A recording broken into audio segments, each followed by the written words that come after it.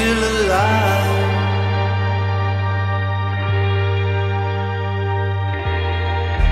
Please listen when I tell you that.